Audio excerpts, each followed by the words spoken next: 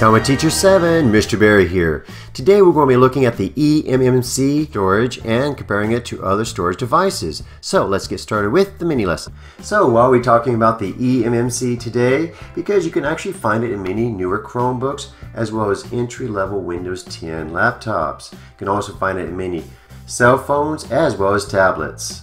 So let's look at some of the benefits and some of the characteristics and compare those to other drives. The eMMC embedded multimedia card architecture puts the MMC components, that is the flash memory plus their controller, into a small ball grid array or BGA IC package that measures only 32 by 24 millimeters in size.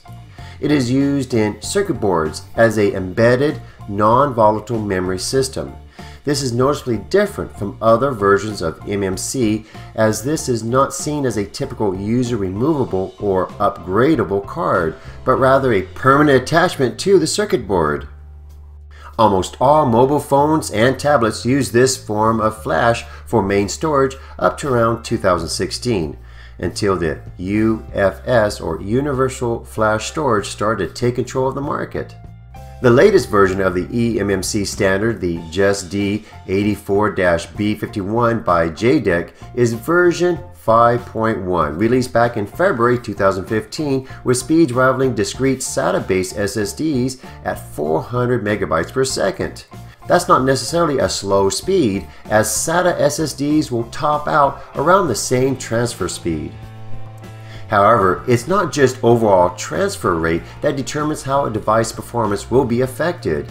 eMMC storage usually operates with fewer memory gates than an SSD, meaning it can still deliver at the same speed, just not at the same volume. Let's think of this like a highway. The more lanes, the more cars you can move at a time. EMC uses a single lane each way as seen here in the diagram, while an SSD uses a multi-lane highway as seen here. So you go the same speed on either one, but the line to get onto the road won't be nearly as slow on the multi-lane highway. So if you want the fastest transfer speeds of data, you would go with a PCI Express SSD. So why don't we just all have these faster storage units in all of our devices? Well, that comes down to a few reasons.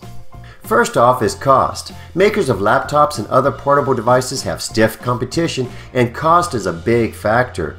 eMMC storage costs much less than PCI Express SSD or any SSD storage for that matter. Let's take a look. Here we see the Plextor 128 gigabyte PCI Express solid state drive going for $500.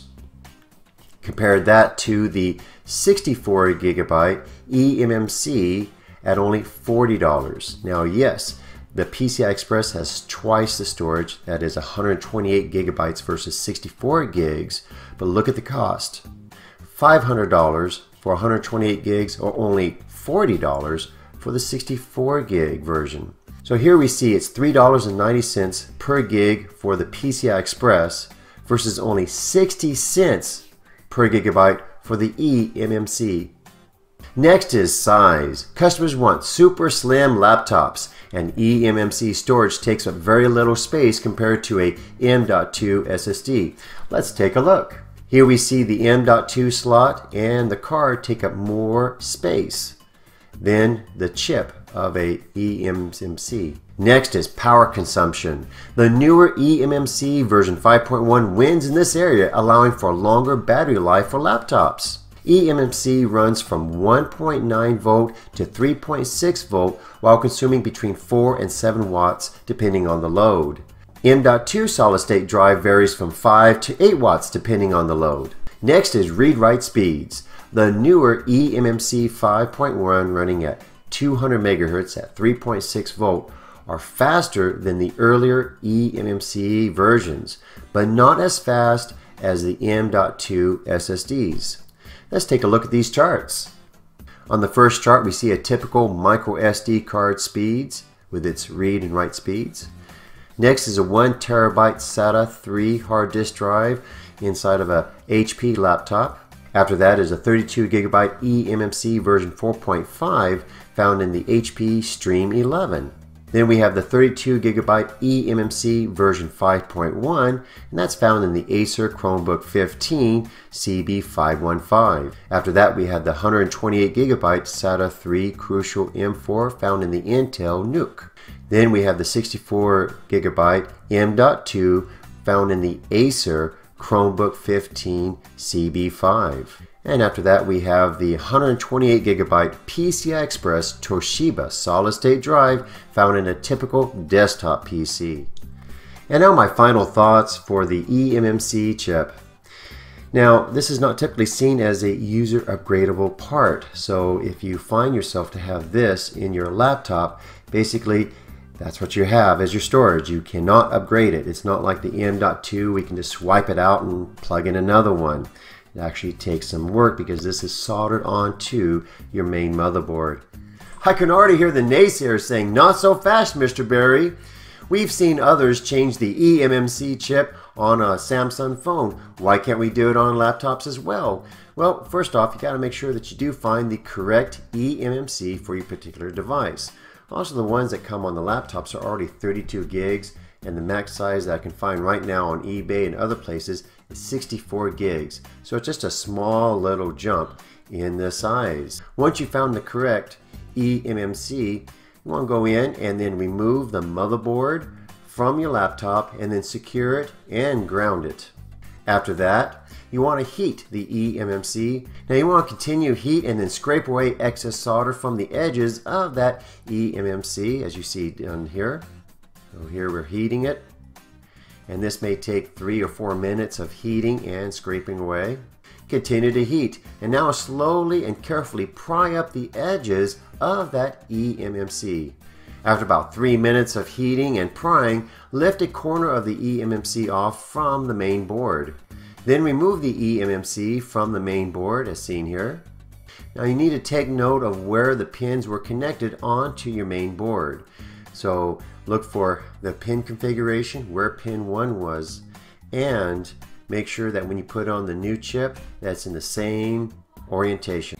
Now you want to scrape off the excess solder, and that you do that by applying more heat and scraping off the excess solder there. You can also use a brush to brush off some of that solder. Make sure that all of the excess solder is gone as you see here and you can finally clean it with a brush. Now it's time to place the new eMMC right on the board, making sure and taking note of where pin number one was on the first chip. After that, secure the chip as you see here, and then heat the top center of it. After about 30 to 45 seconds of heating and pressing on there, you should be done. Remove the grounding, remove the heat, blow it off, and then reinstall the motherboard into your laptop.